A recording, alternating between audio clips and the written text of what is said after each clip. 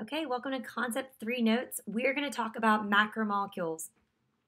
If there was ever an important time to listen, now is the time. If I had to only teach one thing over and over, it would be macromolecules. These are foundational to our understanding of biology. We will be talking about them all year long. And I know I've said that a couple times, but I truly mean it when it comes to these four molecules so if there's ever been a time to listen, now is the time. Okay, so what the heck am I talking about? These are large organic molecules. Organic just means they are containing carbon. And they make up all living things. They are, other people refer to them as the biological molecules. Um, I've always used the term macromolecules just because that's how I learned it in high school and college. Macro just means big, and these are pretty large molecules in terms of molecule size, of course. They are carbohydrates, lipids, proteins, and nucleic acids. We cannot live without them. I have been known to talk in hyperbole, meaning I exaggerate a lot, but I am not exaggerating the importance of these at this time. They literally run our bodies. They hold the information how to, how to run our bodies, and they provide the energy to do all of that everything we will learn for the rest of the semester and really the rest of the year, but especially this semester as we're doing kind of micro things, will relate back to macromolecules. So you absolutely need to understand them. So we are going to go through. Here's a picture of one. Um, well, I mean, picture is a strong word. Um, a diagram of what one looks like structurally. This is leptin. It is an amino acid based hormone. It regulates our energy levels by inhibiting feelings of hunger. So that's what that random thing is there if you're like, what is that? But we're going to walk through each one of these. We're going to talk about what they do, um, their structure, really basically, where we obtain them for our bodies, um, and a couple other important things we'll highlight too. So, first, before we dive into each one, we need to understand how they are organized structurally. So most macromolecules are polymers made out of monomers. So what does that mean? Monomers are small basic subunits. Think about a brick or a word. Okay, that'll make sense in a second, that analogy. Polymers are larger, more complex structures made of monomers. So think about, sorry, a brick wall or sentence. So a monomer is like a brick, and those build into a brick wall, which would be the polymer. With the word analogy, words build into sentences, monomers build into polymers. Um, an example actually related to macromolecules. Here is kind of you know a clip art of DNA, which is a nucleic acid. Here is one nucleotide. Nucleotides are the monomers of the polymer DNA. So if you look right here at this one nucleotide, you can see it in this molecule in the larger piece here. So this as we talk through the structure of each of these macromolecules, we'll talk about the monomers and the polymers that they build into. Okay, so first are carbohydrates. Their main function that we tend to think of them for is energy storage and specifically short term. I like to think of it them as our easy to access energy. When your body needs energy, carbs are going to be their go to. Other uses, though, they do tons of things. They have structural uses, um, uses in transporting things, and also with signaling and recognition, which we'll get into that a little bit more in my homeostasis extension unit, which with my students we'll do at the end of the year where do we find them? In terms of the food you eat, they're coming in sugars and starches. And I'm not just talking about sugar like these sugar cubes that you put in, you know, coffee or that's in cereal. Um, I mean, sugars that are in fruits and vegetables also, and those starches as well. So that's where we're getting our carbs. So when people, you know, say they're getting rid of all carbs, typically they don't mean that. Typically they just mean starches, the breads and the pastas, but they're probably still eating um, carbohydrates in the form of fruits and vegetables. Okay, let's talk structure. The monomer, so the basic subunit, are monosaccharides, so single sugar molecules. Mono means single, so single subunit, single sugar. Examples glucose, which is the main fuel for the cell. We will be talking about glucose so much this semester, especially in Unit 3. So you need to be familiar with that term. Another simple sugar molecule, another monosaccharide, is galactose. That's the sugar that's in milk. And fructose, which is a simple sugar in fruit. So notice this little ring here. That's what we see. That's one single sugar molecule, one mono, monosaccharide is one ring. The polysaccharides are the polymer. These are larger sugar molecules, and you can see how many are linked together in this diagram here. So examples of these more complex carbohydrates are starches. That's how plants store sugar. So think about, you know, when you're eating bread that is made from that's starch from a plant. Glycogen is how animals like us store our sugar. And then cellulose, which is the structural support in plant cell walls. Those are all examples of polymers. Last thing I'm going to tell you about each of the macromolecules is their energy storage. This number will not mean much now, but it'll make more sense as we compare them to each other. So, carbohydrates, there's about four calories of energy per gram. So, this matters because our body can access and break down carbs easily. They store a decent amount of energy, and thus it's t- um, per gram, and thus it's typically the first thing your body's going to go to to break down when it needs energy. It's going to go to carbs. Okay, next are the lipids. Their main function is also energy storage, but think more long term, not as easy to access. They do a lot of other things though too, like insulation, um, protection, and structure. And that the insulation and protection makes a lot of sense too when you think that lipids are fats um, but they're also oils. Um, so that's when you're thinking about things that you're eating, think fats and oils in terms of lipids, like we have here peanut butter, avocados, etc. But also just structurally speaking in your body, phospholipids, which we'll talk about, they're a very special lipid. They make up the cell membrane. So the kind of think of it as the skin that surrounds a cell. Steroids are also lipids. Okay, the monomer, there's no true monomer for lipids because um, they all can kind of vary in their structure, but in general, it's assumed to be, or, you know, if we had to pick one, it would be fatty acids. So that's like what a fatty acid looks like. It's basically carbon chains surrounded by a bunch of hydrogens. That's the simplest way I can explain what a fatty acid is. The polymer tends to be um, triglyceride. So you can see three fatty acid chains here. And then they have glycerols on them as well. So tri 3. That's our polymer there. Okay, now this is where this number is important. Energy storage, 9 calories per gram. So they have way more energy packed in there per gram than carbs do.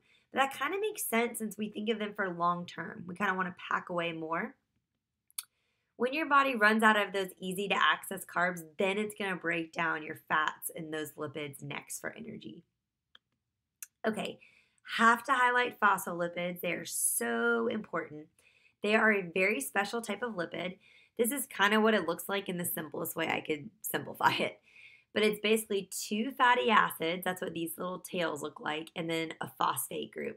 If you look at the actual structure of the carbons and hydrogens and oxygens, it looks like this. You have the two chains, some glycerols, and then the phosphate group at the end. The head which is this part up here, is hydrophilic. So if you remember from concept two, that means water affinity or water loving. The tail is hydrophobic, water fearing or water hating, those fatty acids. So this is really fascinating because of the cell membrane. If you look at this picture, notice these two layers. So we've got the hydrophilic heads on the outside chew, excuse me, and the hydrophobic tails on the inside. And this is the structure of the phospholipid bilayer, which is what makes up the plasma membrane or the cell membrane of our cells. Two layers of phospholipids. So this is a 3D picture of a cell kind of cut in half.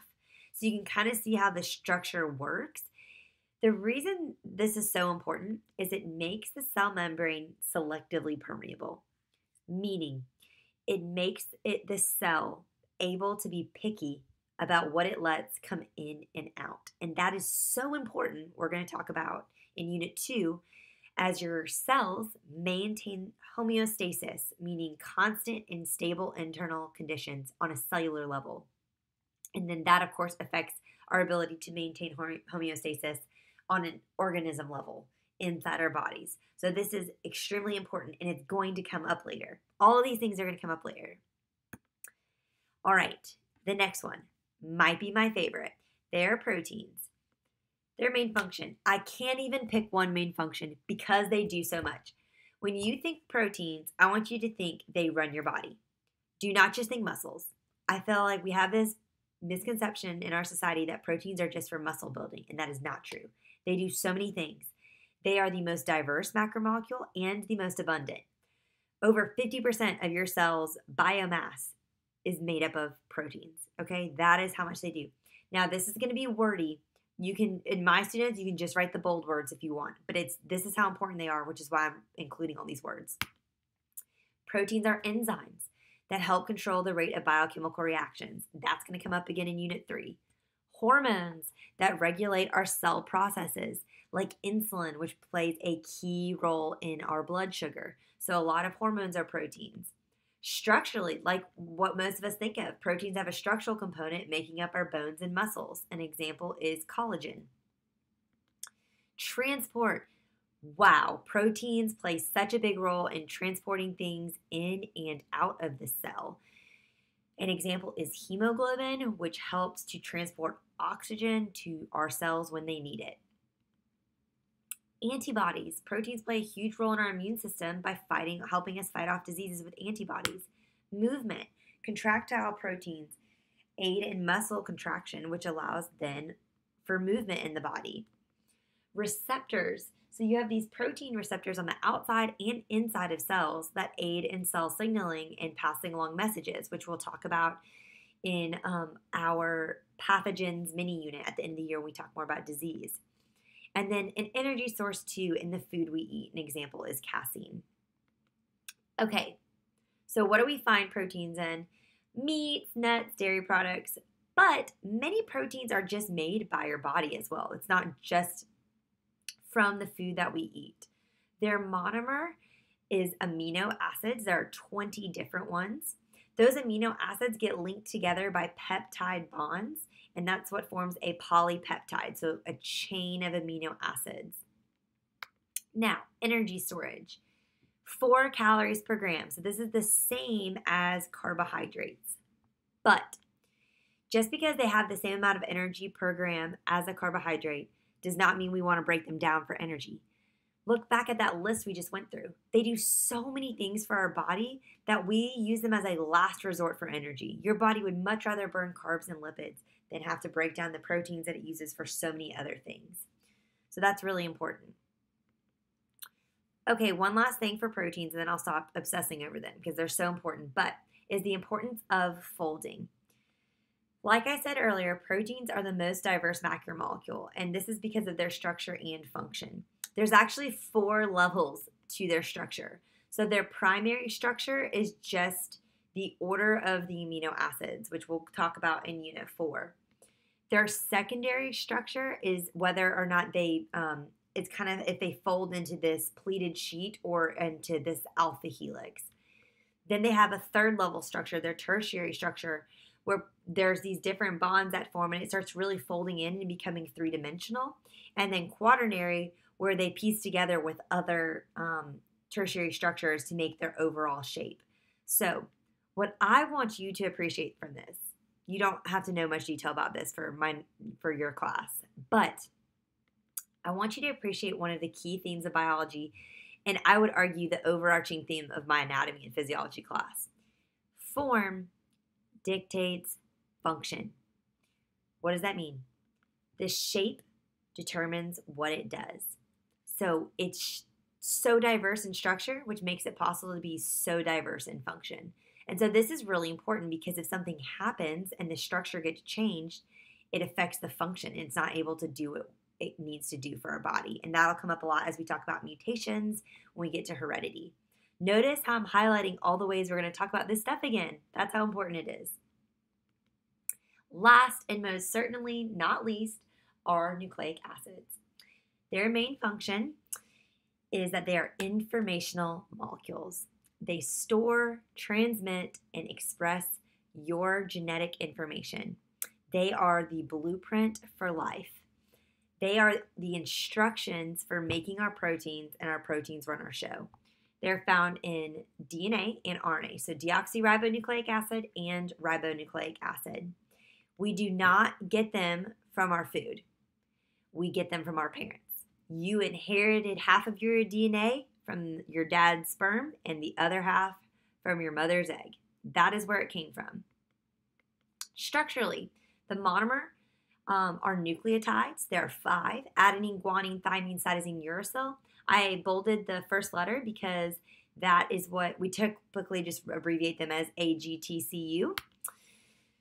Um, this is one nucleotide. It has three parts a five carbon sugar, one, two, three, four, five, a phosphate group, which that determines which one of these it is. Or excuse me, the phosphate group, and then the nitrogen containing base is what determines which of the nucleotides it is. We'll talk about this much more in Unit 4. These nucleotides build together to make up the nucleic acid, so either DNA or RNA. This is a picture of DNA. It has a double helix structure. RNA is just a single strand. Energy, none. There's no energy stored in your nucleic acid, so they are not used for energy. They're never, ever, ever broken down as an energy source. That's really important. Okay, now we're going to organize all this information in a way that hopefully helps you to visualize and understand it a little bit better.